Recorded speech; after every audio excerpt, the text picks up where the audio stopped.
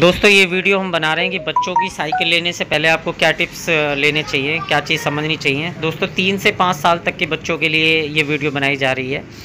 तो दोस्तों, ये इंडिया की कुछ फ़ेमस ब्रांड है।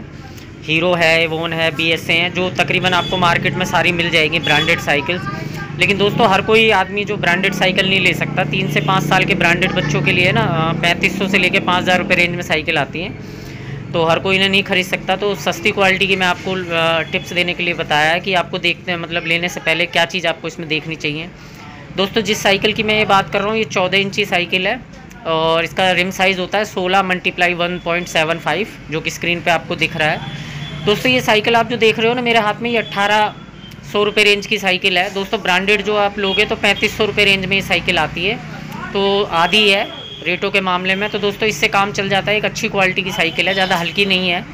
तो इसमें दोस्तों आपको क्या चीज़ ध्यान रखनी चाहिए, जो लेते समय, दोस्तों इसमें ना आपको ध्यान रखने की सिर्फ़ एक मेन चीज़ है, आपको ना प्लास्टिक व्हील्स नहीं लेने चाहिए, दोस्तों सस्ती साइकिलों में। ब्रांडेड में तो आप कुछ भी ले लो, क्योंकि उनकी क्वालिटी अलग होती है।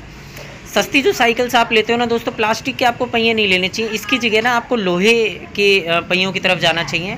कॉस्टिंग जो है, उसमें डेढ़ सौ रुपये अराउंड बढ़ जाती है प्लास्टिक के पहिए हटाने से। तो तकरीबन ये साइकिल फिर दो हज़ार रुपये रेंज में चली जाएगी, चौदह इंची की। तो इसका कारण मैं आपको बताता हूँ, क्योंकि दोस्तों जो लोहे की जो रिम होती है ना, इसमें आप हब देख रहे हो सारा लोहा है, ठीक है? इसमें सारी क्वालिटी लोहे की है। जबकि प्लास्टिक में जो होता है ना, इसमें इशू ये आता है, जब आप साइकिल चलाते हो ना तो प्लास्टिक के, इसमें दोस्तों ये जो सारी कपलिंग है ना जिसमें मेरा हाथ लगा हुआ है, ये सब प्लास्टिक है। तो दोस्तों जैसे ही बच्चा साइकिल आगे की तरफ़ खींचता है ना तो इसके नक्के टूट जाते हैं।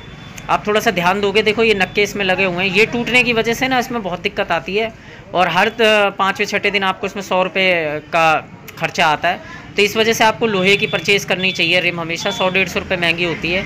तो दोस्तों, बच्चों का मन रखने के लिए साइकिल लेनी भी पड़ती है सस्ती रेंज में। हर कोई ब्रांडेड की तरफ़ नहीं जा सकता। तो दोस्तों, ये मेरा एक टिप था इस चीज़ का लिए कि साइकिल आप हमेशा परचेज़ करो ना तो लोहे की रिम में लो, सस्ती क्वालिटी की दोस्तों। ठीक है?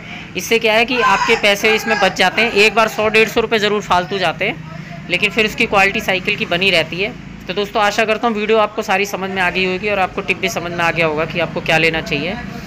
तो दोस्तों, वीडियो देखने के लिए सभी भाइयों का धन्यवाद और आशा करता हूँ आपको सारी चीज़ें इसमें समझ भी आ गई होंगी।